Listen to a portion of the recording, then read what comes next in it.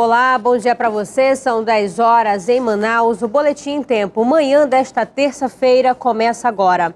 E por volta das 7 da manhã de hoje, um acidente entre uma carreta e um carro no Boulevard deixou duas crianças feridas, uma de 10 e outra de 5 anos. Elas foram levadas ao pronto-socorro da criança na compensa, medicadas e depois liberadas. O trânsito ficou bem complicado durante uma hora e meia mas agentes do Manaus Trans orientaram os motoristas a seguir rotas alternativas para fugir do congestionamento. No Valparaíso, na zona leste de Manaus, um homem foi morto a terçadadas e apauladas. A polícia suspeita de acerto de contas. Quem traz os detalhes e conta pra gente é o repórter Bruno Fonseca. Bom dia, Bruno. Olá, bom dia. Angleson Sampaio, de 31 anos, foi morto com golpes de facão e pauladas na noite desta segunda-feira, aqui no bairro Valparaíso, no Morro da Catita, na zona leste de Manaus. A família acredita que o crime foi cometido por um grupo de pessoas. Ninguém foi preso. O caso aconteceu por volta das sete da noite, próximo à casa da vítima, mas o homem foi morto com vários golpes de pauladas e vários golpes de facão pelo corpo, inclusive no pescoço. A orelha da vítima vítima ainda foi arrancada, o que pode ter causado a morte de Angleson. Ele chegou a ser socorrido e encaminhado ao Hospital e Pronto-Socorro Platão Araújo, mas não resistiu aos ferimentos e morreu no local. A família informou que o homem era usuário de drogas e já foi preso por furto, mas não suspeita quem pode ter efetuado o crime. Quatro pessoas podem estar envolvidas. O corpo foi encaminhado ao Instituto Médico Legal e o caso vai ser investigado pela Delegacia Especializada em Homicídios e Sequestros. Bruno Fonseca para o Boletim em Tempo. Obrigada, Bruno. E olha só essa história em Parintins. Um funcionário que filmava homens e mulheres em um dos banheiros da Câmara Municipal foi demitido ontem. Alô, amigos do Boletim em Tempo. Este assunto movimentou a cidade de Parintins porque é a primeira vez que uma pessoa, que um funcionário da Câmara Municipal é flagrado numa situação como essa. Sandro Heleno de Vilhena foi demitido a bem do serviço público. Vamos conferir a informação. Foi publicada ontem pela manhã pelo presidente da Câmara Municipal de Paritins, Maílson Fonseca, do PSDB, a conclusão do processo administrativo de número 007-2017, instaurado para apurar as infrações cometidas pelo funcionário efetivo da casa, Sandro Heleno de Vilhena. O servidor foi demitido a bem do serviço público. Sandro Heleno instalou clandestinamente num dos banheiros da Câmara Municipal, utilizado por funcionários e visitantes de ambos os sexos, uma mini câmera espiã captando imagens e áudio de adultos e crianças que utilizavam o referido banheiro. A polícia também encontrou no computador de trabalho da Câmara, utilizado por Sandro, vários vídeos pornográficos. Além do procedimento administrativo, ele também vai responder criminalmente. Há um procedimento na Delegacia da Mulher, uh, um inquérito presidido pela delegada da mulher, Alessandra Trigueiro, que apura ah, o envolvimento desse cidadão numa outra situação. Ele teria filmado no banheiro da sua residência as próprias sobrinhas, que são menores de idade. E ah, o desenrolar desse caso já é numa outra situação. A delegada acredita que nos próximos dias já esteja totalmente concluído esse inquérito. Do estúdio da TV em Tempo em Paritins, Tadeu de Souza para o Boletim em Tempo. Muito obrigada, Tadeu. E agora vamos mudar de assunto. A culinária da nossa região será mostrada em Manaus nos dias 24 e 26 de novembro, na segunda edição da Feira Internacional da Gastronomia Amazônica. Vai ser no Centro de Convenção Vasco Vasques. Pratos tipicamente amazônicos com um toque de requinte, feitos por chefes renomados do Amazonas, de outros estados do Brasil e de alguns países. Nos dias 24, 25 e 26 de novembro, a Feira Internacional da Gastronomia Amazônica será aberta no Centro de Convenções Vasco Vasques, em Manaus, para gerar negócios, fomentar o turismo e divulgar a nossa gastronomia para o mundo. Além disso, está vindo pessoas também da nossa imprensa gastronômica, cinco repórteres de imprensa gastronômica, além dos chefes nacionais e internacionais que irão levar essa cultura e essa ideia de que a Amazônia é um celeiro da gastronomia do mundo, né? Vão levar isso para fora, vão divulgar o Amazonas.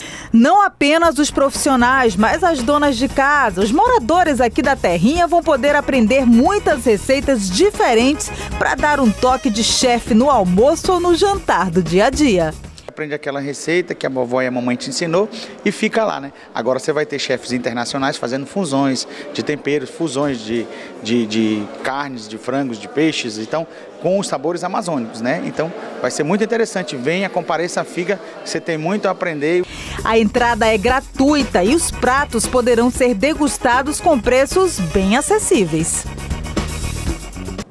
O Detran vai divulgar nos próximos dias os nomes dos 10 mil selecionados para o projeto CNH Social. As aulas começam mês que vem na capital e em janeiro no interior. E é só para a categoria A, ou seja, moto.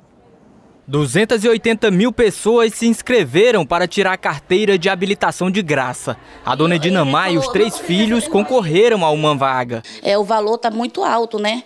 E, quem, e com essa crise que está acontecendo, e eu estou desempregada, meus filhos também, né?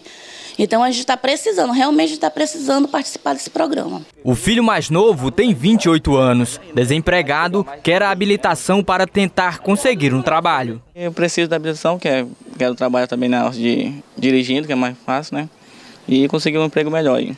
A habilitação oferecida pelo Detran é categoria A, para dirigir moto. Em média, nas autoescolas, ela custa de 800 a mil reais. Nos próximos dias, o órgão deve divulgar os nomes dos contemplados. 9 mil vagas são para o interior e outras mil para a capital. Nós vamos trabalhar em cima de motos. Praticamente de 20 motos que tem no município, só três são habilitados. Então a nossa preocupação maior é levar isso aos municípios, né? Que é onde as pessoas têm mais necessidade, maior dificuldade de fazer uma escola, uma autoescola, né? Então a nossa preocupação é essa. E nesta segunda-feira, o Detran inaugurou mais um posto de atendimento, desta vez em um shopping na zona oeste de Manaus. Esta unidade aqui é como se fosse um mini Detran. Aqui haverá todo tipo de atendimento que é servido na central do Detran. O posto vai funcionar das 9 até às 17 horas, de segunda a sexta-feira. O atendimento também será agendado no site do Detran. E agora você vai conhecer pessoas que, mesmo com o avanço da tecnologia e internet, não abrem mão da comunicação por cartas. É isso mesmo, tem gente que se comunica até com pessoas de outro país através da escrita à mão. Tenho aula de violão às quartas. Eu amo canto. Thaís participa de um projeto de trocar cartas entre escolas pelo país. A menina é boa na leitura e gosta de escrever. YouTube e mais YouTube e nas segundas, mais nas quartas e nas sextas. A mãe dela é prova do quanto a estudante adora receber as cartinhas. Quando ela recebeu a primeira cartinha, é, aí ela falou assim: Mãe, eu recebi minha primeira cartinha que eu não sei de quem é. Ela lê, lê, lê logo. Assim como Thaís, esses estudantes estão empolgados. De alguma forma, cada carta tem algo especial para eles. Daniel gostou quando recebeu uma de Maria Clara, uma coleguinha que o menino só conhece por carta. E por que ele gostou? Eu acho legal porque ela, ela tem o nome da minha tia, Ana Clara. Ah, então ficou marcante por isso, né? Uhum.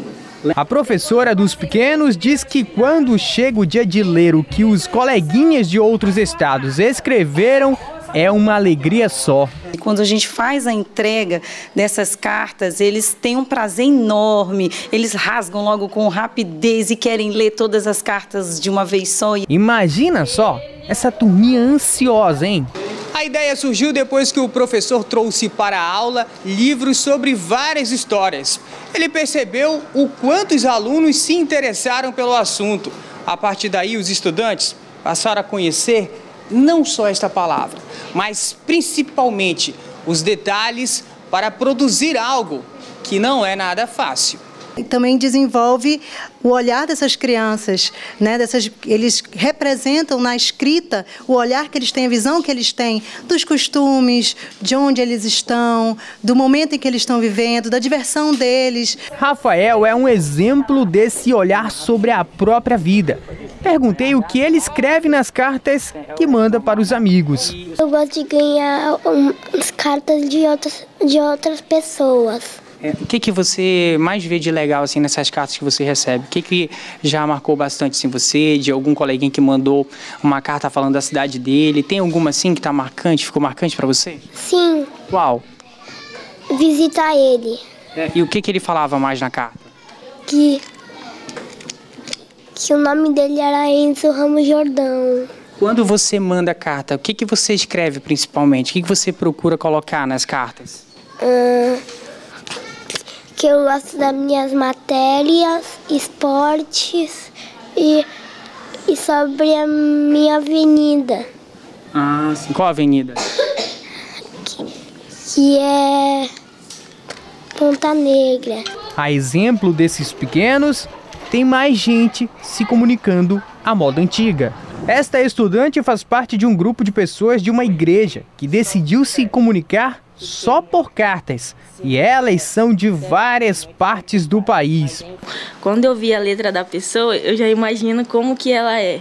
Assim, não fisicamente, mas para ela escrever, um modo que ela coloca uma vírgula, um modo que ela coloca uma palavrinha, ou então que ela brinca. Eu imagino ela falando aquilo para mim. Então é é uma coisa assim, uma sensação bem diferente, é meio difícil de explicar.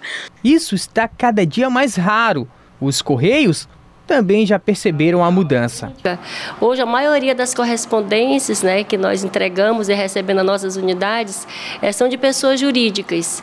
Né? São os bancos, as instituições né, que se comunicam através dos seus clientes, através das correspondências. A única explicação é a tecnologia mesmo. É que tem carta a partir de um centavo, aquela trocada entre pessoas físicas.